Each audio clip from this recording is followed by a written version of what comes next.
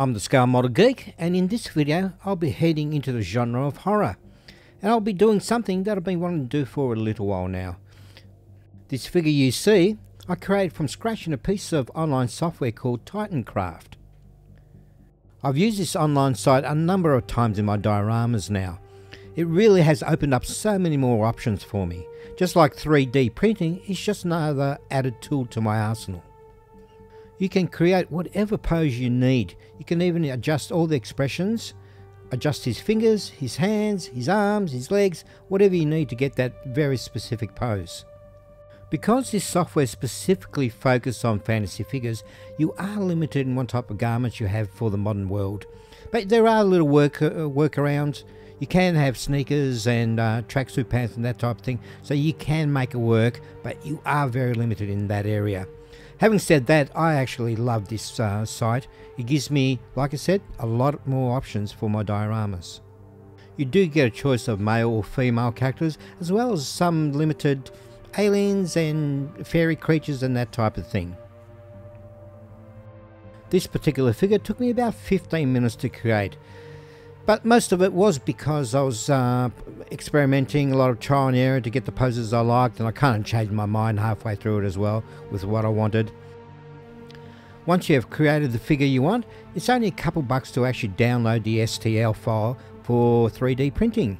And the great thing is, you can always go back and make some slight alterations and download those ones for free. And you can keep experimenting with poses, keep downloading them as long as you don't change the main character, all for free. Now this was the final result that I ended up with and it took me about three goes to get what I wanted. I ended up removing our victim's shoe just to add a bit more drama to the diorama. I also found this bucket online but I couldn't find a decent mop so I'll be scratch building that. And this is our big nasty spider that'll be in the attic. Now this is exactly the same spider that I used in my Attack of the Spider diorama. But I'll be painting up very differently this time round. I'll be making him a bit furry as well. So let's get stuck into it. I'm using some of this basic skin tone and this brown sand from Vallejo for the base colour and also the black red for some of the shading. Now start off blocking in the base colour and then using some of the burnt red and some white and also some medium I start adding all the different tones to his face. For his sneakers and his t-shirt, I'm using some Vallejo off-white. And for his jeans, some of this dark blue.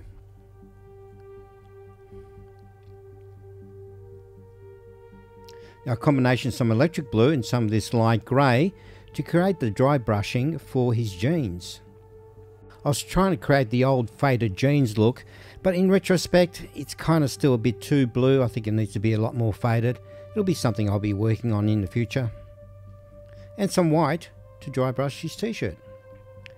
Now onto his hair, some of this dark flesh tone. I'm just doing a base coat of this, then a lighter version to hit the tips. And all I did to create that was just add a bit of white to the dark flesh tone.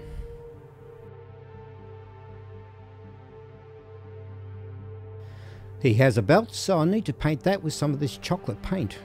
So, well, it's not actually chocolate. And some silver also for the buckle. Now I decided to add a bit of an emblem to the side of his sneakers with a bit of red. And in the middle of that, I added a white A. I also wanted to add a bit of a logo to his t-shirt, so I've got some of these leftover decals from a previous model car build that I did and with a bit of Mark Softer there and a bit of warm water I was able to add the Valvoline logo to his shirt. This was my second attempt. The first one was the champion logo but that fell apart. To add a bit of detail to his sneakers, some panel line accent colour from Tamiya. And there he is, just about done. But if his face isn't horrified enough, let's add a bit of gore to it. I'm using a combination of this clear red and smoke.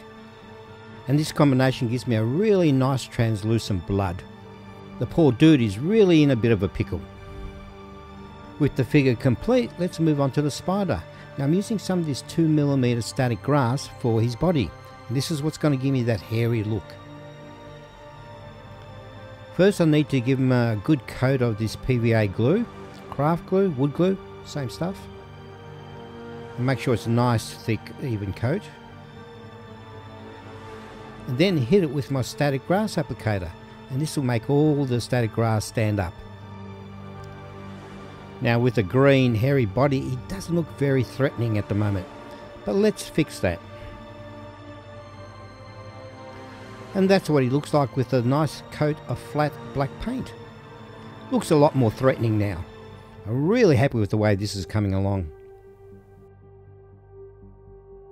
Now I'm not going to leave him black because that would be boring so let's start painting him with a bit of rust. Now I'm adding this to his head. And making sure I get into all the crevices and all the cracks there. A nice even coat.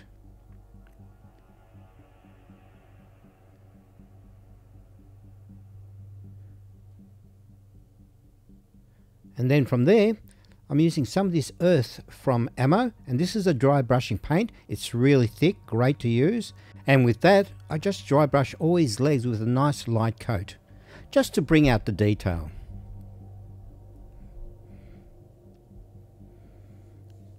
He's looking so good at the moment. But I do want to add a bit more colour to his head, especially those googly eyes of his. Now I'm starting off with some of this dwarf skin, again from Vallejo. And I've thinned that down with some medium and just hit the high areas with the paint. All I'm trying to achieve is some depth into the paintwork. Just using some off-white for his googly eyes. I then used some of this panel line accent colour from Tamiya to bring out some of the recessed detail. Also off camera I did paint his eyes with some black paint just those little pupils. Now the spider's looking really really good, I'm very happy with the results so far, but his body still does look a bit flat, so I'm using some of this earth, again from Ammo, and I'm going to dry brush his hairy bits. And it's just a very light coat, just to bring out the details. In this particular case, I just start off really light dry brushing and slowly build it up as I gain confidence in the look. and we're almost done. He's looking great, but I kind of think it needs a bit more. So I'm going to use some more dry brushing onto the end of his feet, and I'm going to use some of this gun metal from Ammo.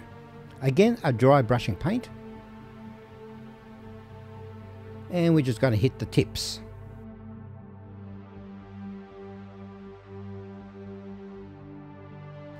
And there he is, all done. He's looking quite good and menacing. I really like the way his head's come up in all those eyes. I did add a bit of a red wash to his eyes to give him that bloodshot look. And with the two main characters all done, it's onto the base. Off camera, what I did was use a bit of XPS foam for the back, some foam core board. I then coated the whole thing with some PVA glue to seal everything, and then some undercoat from a spray can. What I was trying to achieve is to get that concrete look that they have in industrial basements.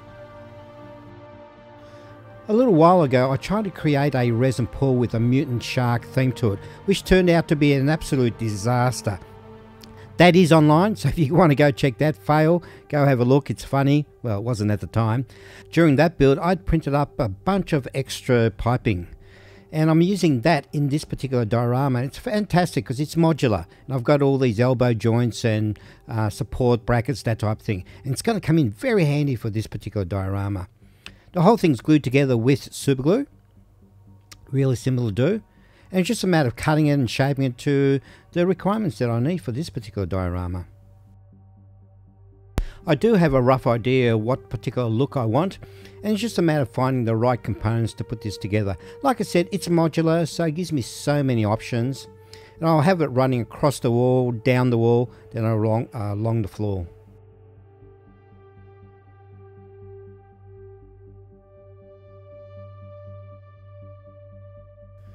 Off camera, I did give the base a few shades of some mottled grey.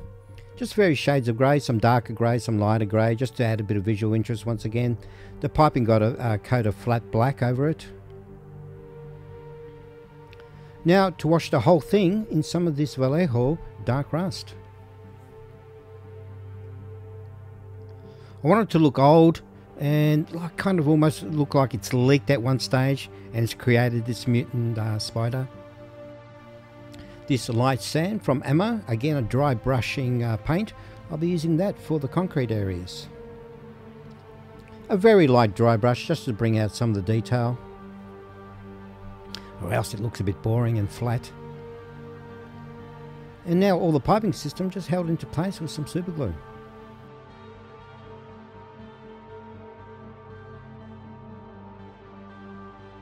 Now onto some of this rust texture from Vallejo to create some, well, rust texture.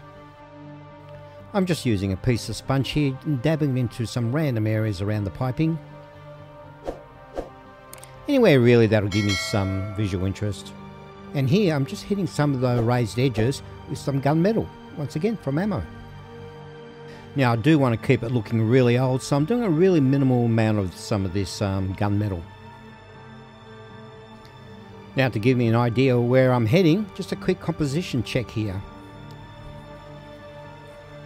And then, once I'm happy with that, time to do super glue everything into place. The spider will be the last thing I glue into place because I don't want to work around it. So I can place him whenever I want. Now let's detail this uh, bucket with a bit of silver paint for the metal sections and then some black paint for the wheels and also the handle.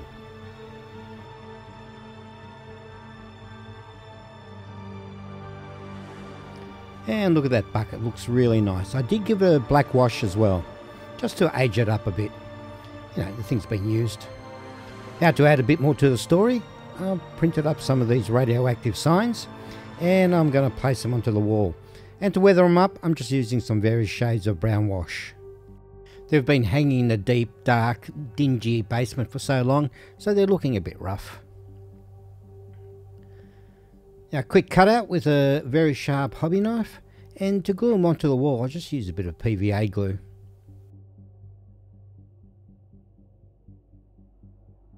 It did take me a couple goes to get the poster in the right place, or rather that warning sign.